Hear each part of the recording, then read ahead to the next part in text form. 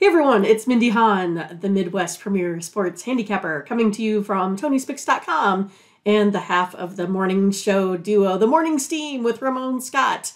Uh, but hope you enjoy this free pick video from our show. Uh, be sure to click in the link in the description for our best bets. Now, here is the pick. Cleveland and Charlotte here. Cleveland, an eight point favorite on the road. The total's 220. Oh, goodness. I'm going to go over the total, Ramon. Both teams here, two and one over their last three. Cavs scoring 112. Hornets 112. Look at that. Uh, over is five and one. The Cavs last six road games. Over seven and two in the Cavs last nine as well. Gonna go ahead and take the over this small number. Looks like it's already gone up a little bit. I had it at about 219. All right. Let's take a look. Looks like Greg Cleveland number one ranked defense. Right? What is it? I said this Cleveland team and their defense. I know, right? I mean, um, Scotch has got his uh, play going again. The Scotch locks on the under uh, here, Mindy. I know it. Mm. I have it over by like three points. There you go. Okay. I'm going to lay the points here on the road with the Cavaliers. I'm going to lay eight points on the road in this one.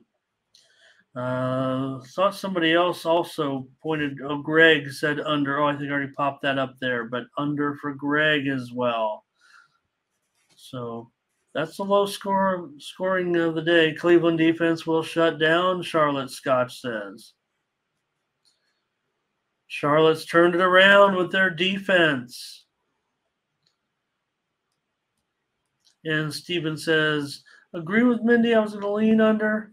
It was like 215. Now he's taking the over with Mindy. All right.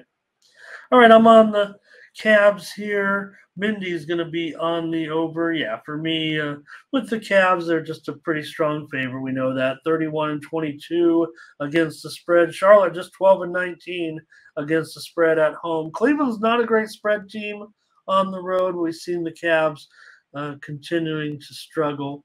Mark says uh, you know, injury report here with Garland still uh, questionable with that quad injury. Also, note Jarrett Allen.